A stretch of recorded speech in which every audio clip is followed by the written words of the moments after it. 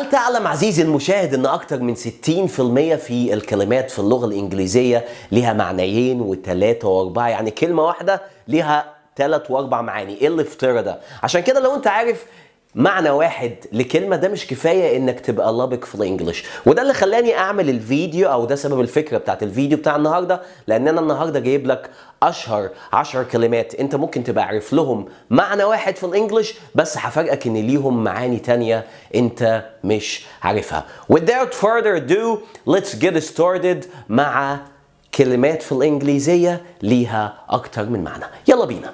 أول كلمة معانا هي كلمة room و room معناها غرفة أغلبنا عارف إن room معناها غرفة أو أوضة. room معناها كمان في ال English مساحة. For example the trunk of my car has enough room. The trunk of my car يعني ال ال الشنطة بتاعت العربية بتاعتي فيها مساحة كافية. فروم معناها كمان مساحة. ودي أول كلمة. تاني كلمة معانا وهي كلمة ماجازين أغلبنا عارف إن معناها مجلة لكن خلينا أفاجئك وأقول لك إن ماجازين كمان معناها خزنة السلاح. خلينا أديك مثال خزنة السلاح اللي بتحط فيها الرصاص يعني. For example I took a machine gun and a spare magazine.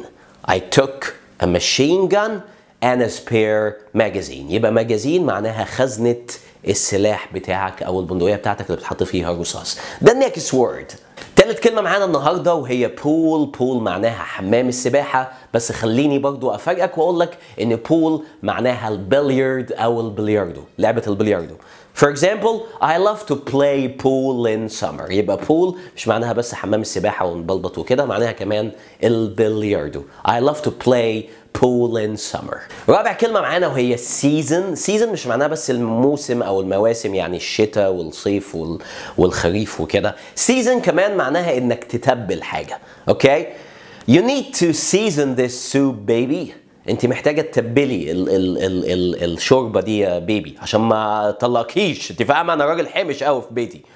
You need to season this soup. محتاجة تتبلي الشوربة دي. أوكي عندنا بعد كده كلمة nail N A I L. nail في الإنجليش ليها معنيين أساسيين. المعنى الأولاني ضوافر إيدك.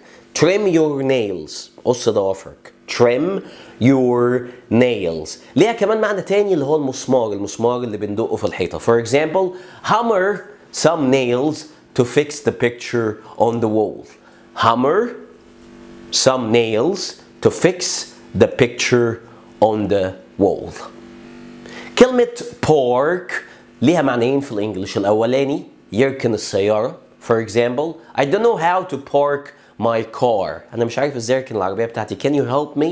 I don't know how to park my car. المعنى الثاني هو الحديقة أو الجنينه let's take a walk through the park. Let's take a walk through the park. Park.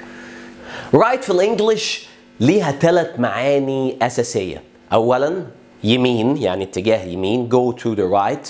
روح على يمينك أو على يمينك. Go to the right. معناها كمان you're right انت صح لما تحب تريح واحد يعني أو right معناها صح أو صحيح. you're right. right كمان معناها الحق بتاعك حقك. أوكي يعني مثلا for example I'm an Egyptian citizen and I have rights. أنا مواطن مصري وعندي حقوق. طب بعد كده تاخد على على يبقى اقطع الحتة دي في المونتاج. I'm an Egyptian citizen and I have rights. أنا مواطن مصري وعندي حقوق. كلمة fair معناها عادل لما عارف لما تعيط لمامتك يعني تقول لها ده this is not fair mom. يعني ده مش عدل. okay fair كمان ليها معنى تاني واللي هو الملاهي أو عندنا في مصر بنسميها الموالد. زي مولد أبو عيسى مولد أم سحلول مولد مش عارف إيه. في موالد كده. okay ف let's go to the fair. يلا بينا نروح المولد. okay يبقى fair معنى كمان المولد أو الملاهي. بس مش ملاهي الملاهي منصوبة يعني مؤقتة كده. okay Very good. كلمة fine وأشهر كلمة الشعب المصري يعرفها How are you? I'm fine and you طبعا يعني ما بنقولش غيرها fine معناها كويس مع إن في بدائل كتير وكنت عملت عليها فيديو بتفرج عليه. المهم fine كمان معناها في الإنجليش مش بس كويس معناها غرامة غرامة مالية على مثلا اختراقك لقانون معين أو أو إنك عملت حاجة غلط. For example, the police officer gave me a fine because of speeding يعني ضابط البوليس اداني غرامة بسبب السرعة The police officer gave me a fine because of speeding. آخر كلمة معانا وهي late. late أول ما بنتعلم انجلش بنبقى عارفين إن معناها متأخر. late كمان ليها معنى تاني وهو متوفي.